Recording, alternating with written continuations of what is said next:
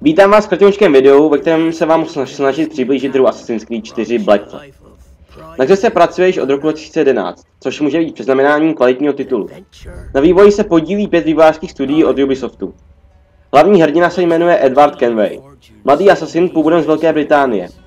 Je to pro upřesnění dědeček Conora. V hře jsou herní oblasti celkem tři. První je hlavní město Kuby, Havana, další lokací je Kingston, blízké město ve stylu Bostonu. Posledním místem, kde budete hrát, je Nassau, ve kterém najdete vše pirátské. Stejně jako v Assassin's Creed 3 budete moci běhat po stromech a bojovat s místní faunou. Příkladem jsou žraloci traileru. A teď k moři a lodím. V Assassin's Creed 4 je snahou udělat plynulý přechod ze souši na moře.